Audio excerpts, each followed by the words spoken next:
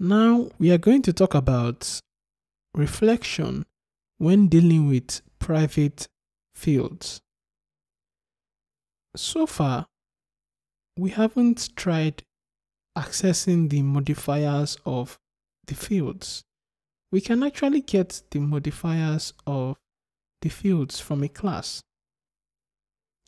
The first field name has a protected modifier while age has default. Now, when we say get modifier, it will return an int.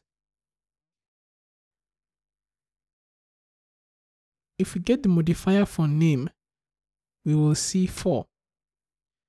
To make it as human readable string, we can say modifier.toString. This will accept the number and then return the corresponding modifier that is represented by that number. So when we print it out, we can see protected. Now, we normally say get declared field. You might be tempted to use the get field method. Now, the difference between get declared field and get field is when you use get field, you are checking for a public field in that class with the name you specified. So for example, I am looking for a field called name that is public. Because it wasn't public, it gave me an error. So that is the main difference. When we use get declared field, it checks is there any field here with this name.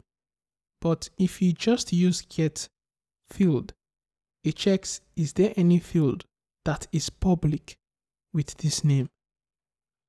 We can make name private.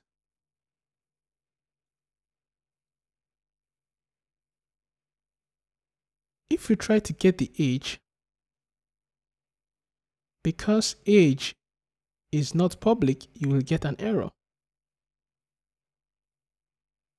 So currently, to get any field using the get field, the field has to be public, but you can use the get declared field if you want to get just the field in a class, irrespective of whether it is public or default or even private.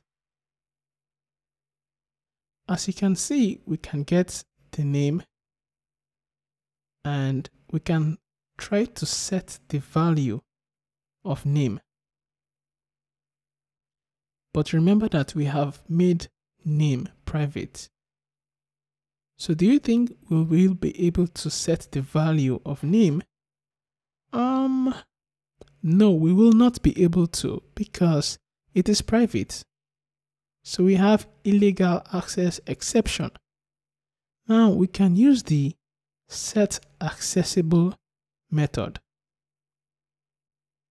This enables us access a private field and set the value of that field. You can see that the field name has been set to hello.